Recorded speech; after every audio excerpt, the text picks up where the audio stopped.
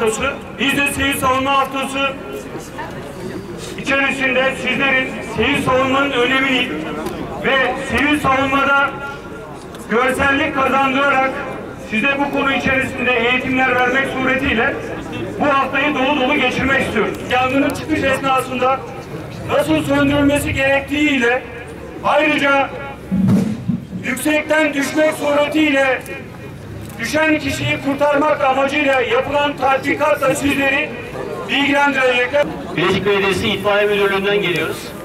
Ee, bugün sizlere e, yangın anında uyulması gereken kurallar e, ve düşme, olası kurtarma anında yapılacak hareket tarzı hakkında kısa notlar, bilgiler vereceğiz.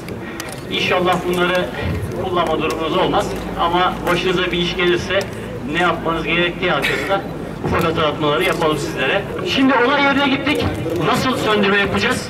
Rüzgar tayini yaptıktan sonra yanan yeri süpürerek ve yarım metre kadar aramızda bir boşluk bırakarak sol veya sağ ayağınız nasıl tutuşu pozisyonunuz varsa ona göre pozisyon alıp söndürme işlemini gerçekleştiriyoruz.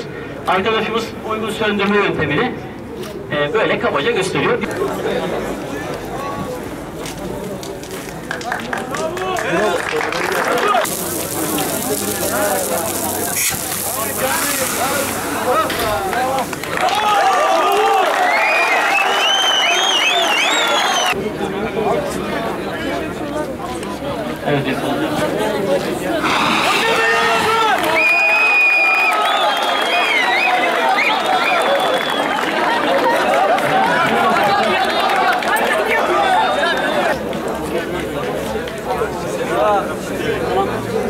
Evet,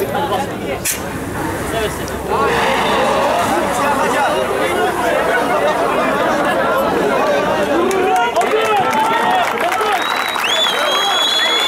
Ahmet Hoca kafayı bozar sıcak bozuyor. Yalnız